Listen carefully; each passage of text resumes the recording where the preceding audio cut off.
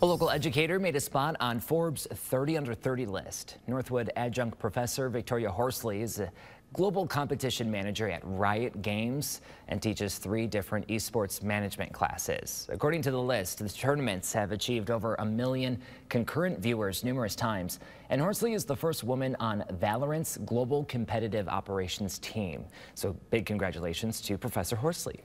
And Northwood Esports is also getting a new leadership team. Assistant Director Jacob Jacob will lead a new chapter in the program with help from former player Aiden Frosch. It will be the first time the coaching staff will be made entirely of Northwood alumni. Jacob says he wants to continue the program's tradition of having players recruited by professional competitive esports teams because seven players have already gone on to play professionally. And